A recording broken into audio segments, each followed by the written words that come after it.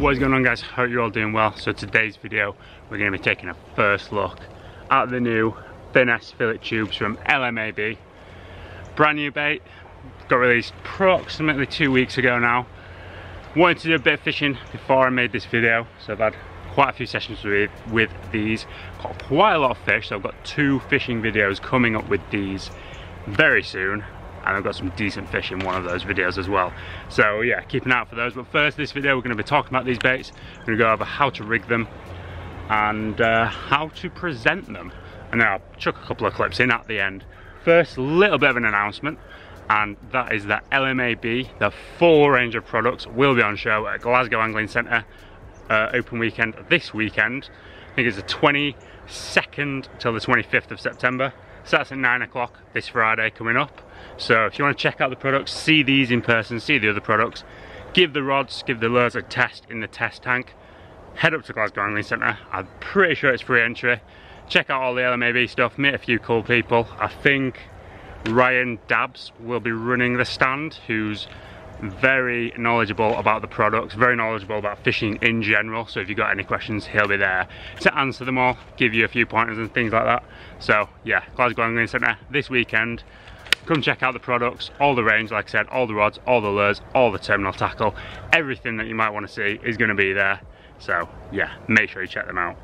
But right now, we're going to get into these. So, finesse fillet tube. It's quite a unique bait.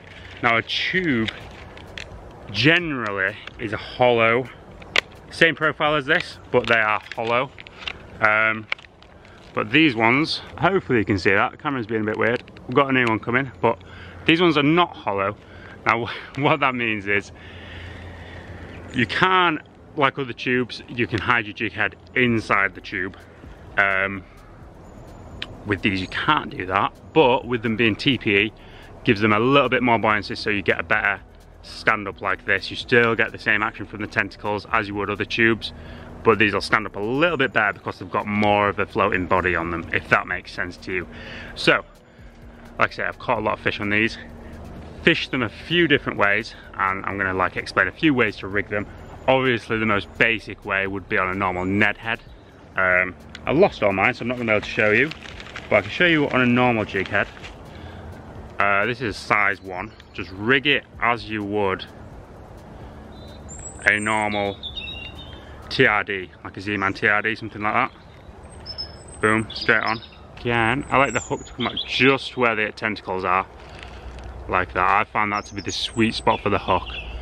Get a way better hook-up ratio, doesn't impede the action of these, and presentation is money like that. Like I say, these stand up on the bottom, so you're fishing them slow on the bottom like they start with stood up. Tentacles will be flapping a little bit in the flow, or just from you twitching the rod tip a little bit, getting those fish enticed in, and boom. These do catch a lot of fish. I was a little bit, I'm not gonna lie, I was a little bit skeptical about how well they'd work, but after the session I had yesterday with these, I must have caught 50, 60 perch just trickling them down the river on the bottom and yeah they work really well. So normal jig head or a Ned rig head if you've got them. I, I I'm quite poor so I tend not to buy them and just use normal jig heads. That's the first way you can rig them. You can also which is was my preferred way of fishing them to be fair and that is fish them weedless. I like to fish them on a Texas rig. Obviously you can use the same hook but fish them on a Carolina rig, Jika rig, Cheb rig, if that's your preferred, you know, obviously different situations, different rigs basically, or, you know, personal preference. Like I say, my personal preference is the Texas. Let's get another one of these out. So, size 2 offset hook. Just put my little bag of baits down. Nip that through. I hardly put that through any material at the front there, just enough and then this size 2 comes out right where the tentacles are. So I'll not hook it through all the bait I'll pass it through the tentacles and just nip it just in the top like so. So the hook is only in the tiniest bit of material right there. Um, but the hookup rate on these was absolutely incredible yesterday. I caught, I landed most of the fish that I hooked. Obviously it's quite a small hook. And it's quite a deep body bait. But because we're only nipping it through a tiny bit of material there you do get a decent hook exposure. You do land most of the fish. You've got to let the bites develop a little bit as you would normally with a weedless rig. Um, but yeah super stealthy presentation especially if you've got this on a Texas rig you know. There's barely anything on that that makes it suspicious to a perch you know. Smaller hook than you'd normally use on like a normal TRD or something like that. And yeah money. This was my favorite rig. Like I say Texas rig but you can Cheb it Jika it Carolina um, any other weedless rig that you can think of. But yeah size 2 or size 1 experiment with a few sizes. It worked with both sizes. Um, I say you just need to nip it through a tiny bit of material at the back there and you are good to go as you can see you know. It'll roll down the hook super nice when you hook a fish. Getting them hooked real well. Um, yeah like I say that's my other favorite well that is my favorite way to rig them on the Texas rig weedless. That's probably what I'll fish a ton this winter. Uh, I had I think I've had three 40 centimeter perch on these already so I'm expecting some big fish in the winter.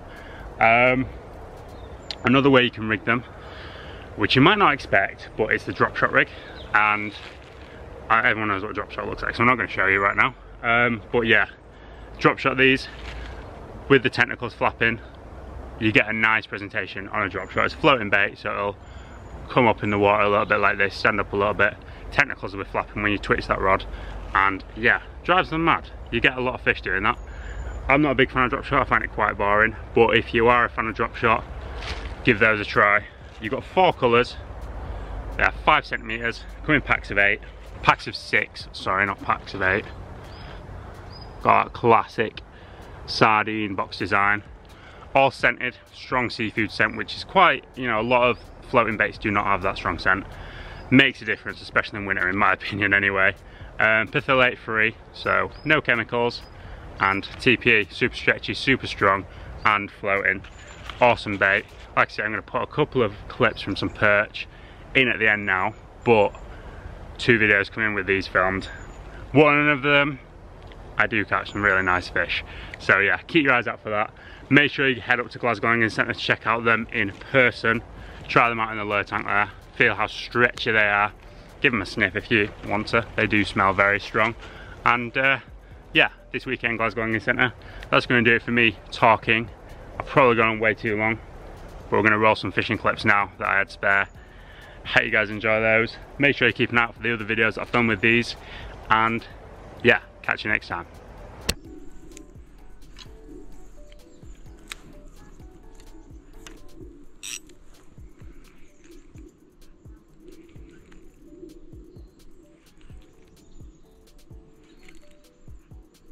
There we go. Oh, straight on it then. It's only a small one, but boom, took that instantly. Freaking nailed it as well. Let's put this in the net real quick. It's like the reason I'll retain them sometimes is just putting them back. And they'll just go straight back to where they came from. Sometimes it can spook the other fish if there's a few more there. Cast straight back over there. It's only really shallow.